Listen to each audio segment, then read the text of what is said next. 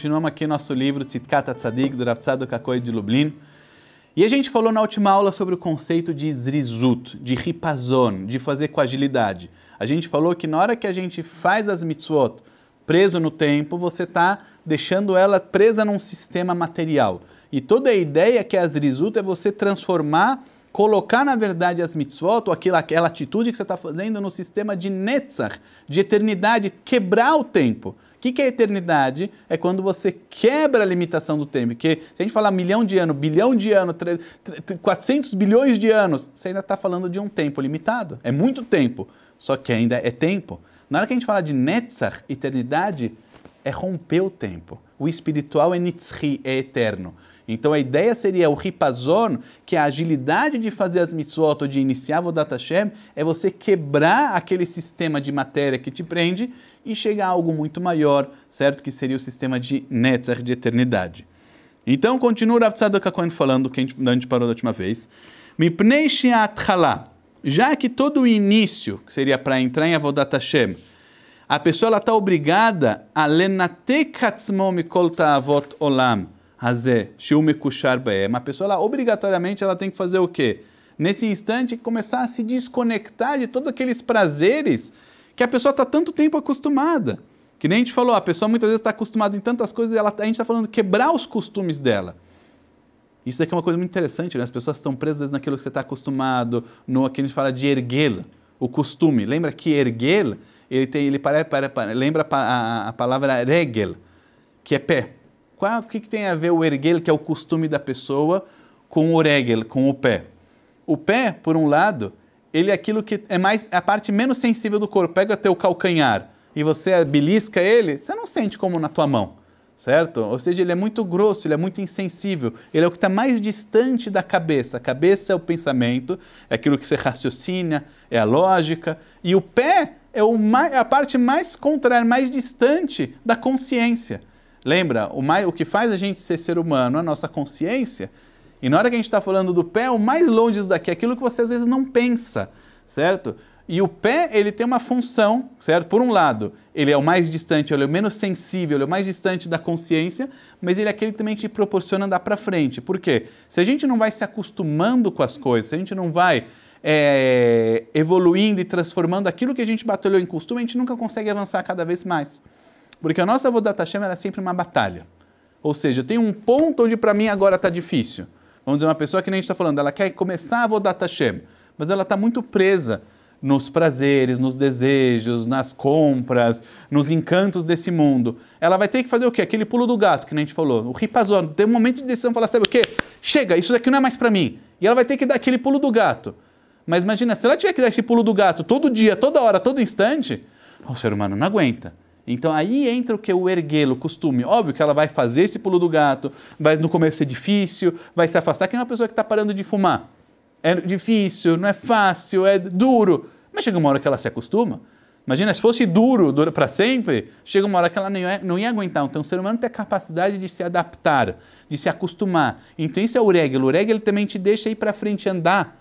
Então, ao mesmo tempo que ele é o menos sensível, ele faz a gente avançar em Avodat Hashem. Então ele falando, a gente às vezes está realmente acostumado a muitas coisas. E para a gente quebrar o costume, você tem que realmente ter uma escolha radical no começo. Ter, uma, ter aquela escolha dura, aquele, aquilo que vai realmente mexer em você, para você quebrar o erguel, quebrar o costume. Isso é difícil. E por isso ele continua falando, tsarir lishmor Harega shemitorerbo. Então isso aqui é muito importante. Ele fala, por isso você tem que cuidar de uma forma muito preciosa, com muito carinho, muito cuidado, do instante que se desperta em você a mudança. A pessoa muitas vezes ela tem aquele instante de, vamos dizer, uma pessoa que ela está acostumada a não cumprir tanto o Shabat. E ela ouve na sinagoga como importante Shabat, sei lá o que, vê as pessoas cumprindo. Às vezes passa na cabeça dela, puxa, talvez eu devia cumprir o Shabat, talvez eu não, não, não, não tenho que ficar tão longe, talvez eu tenha que começar a comer mais kasher, ah, só, eu só sou kasher de carne, mas hum, eu sei que isso aqui não é o ideal, não sei que é certo, eu devia talvez comer kasher. Você tem que pegar esse, às vezes passa esse pensamento, depois fala, ah, sabe o que? Trocar minha cozinha, trocar tudo, comprar mais caro, o leite é mais caro, sei lá o que, né? A pessoa abandona. Então você teve um instante, aquele insight de mudança, e às vezes você fez o que? Você perdeu aquele instante Você demorou, você fez aquilo virar hametz. Então isso que ele fala, você não pode perder o instante. Todo ser humano ele tem instantes que a sua mente, a sua alma se desperta para você fazer uma mudança. Você não pode perder o instante. Você tem que cuidar da forma mais preciosa desse instante. E lembre, esse instante ele vai minguar. Ele vai minguar, é questão de tempo. Você tem que pegar esse instante, arega shemitorerbo, esse momento que se desperta, o Retzon Hashem, a vontade de Hashem, de uma forma natural. Isso daqui vem na pessoa. Velarpos alotorega. E você tem que capturar esse instante. E você tem que se despertar com isso como um despertar do coração. O lemaer, você tem que se acelerar. Agora você não pode demorar. Esse é momento você tem que se acelerar, ligar lá a, a quinta marcha Latzet meem. E você vai se, como se diz, se desconectar daqueles prazeres que está tão acostumado, daqueles, daquele costume que você está há tanto tempo nele. Porque o lá e o hal, porque talvez você vai poder conseguir o quê? Aproveitar esse despertar, aproveitar essa agilidade e fazer o quê? Romper aquilo que a matéria está te segurando tanto para você fazer o quê? Conseguir um processo de mudança. Então olha que legal. Vai vir naturalmente para a pessoa momentos de insights. Não demore. Pega aquilo lá, não pensa, não raciocina. Você começa a pensar, puxa, mas e se? Quanto vai custar? Onde vai ser? O que, que eu vou dizer para as pessoas? O que, que vão achar de mim? Se você começa com isso, mio, você perdeu. Ele está ensinando a gente uma coisa muito importante. Não pergunta, não questiona. Pegou aquela coisa, vai. O que vai ser, não sei. Não sei. Pega esse instante, urega. Na hora que a gente começa a sair para o futuro o que vai ser, você já está perdendo aquele instante que se despertou em você. Certo? Isso aqui é uma coisa muito importante. A harkar, depois, chuveler mimtinut depois que você pegou e aproveitou isso daqui, você começou, vamos dizer, fazia tempo que eu não ia para reza na sinagoga. E você sabe o que? Não dá para fazer assim. Colocou o despertador, sabe o que? Amanhã às 6 horas eu vou estar na sinagoga. Acabou, ponto. Ou vou começar a estudar, ou vou sei lá o que. Colocou isso daqui. Não importa o que aconteça, você colocou isso na cabeça, eu vou. Você pegou aquela ideia, ah, mas se eu ficar cansado, não importa. Você pegou aquele momento e foi.